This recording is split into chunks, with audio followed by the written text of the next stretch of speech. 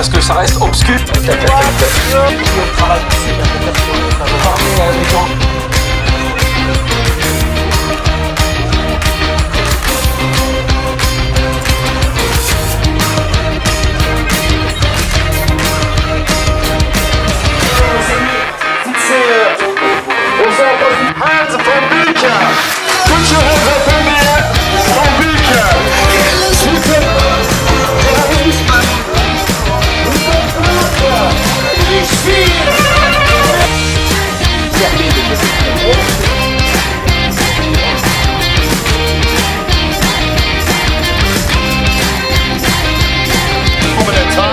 This moment starts in a few seconds.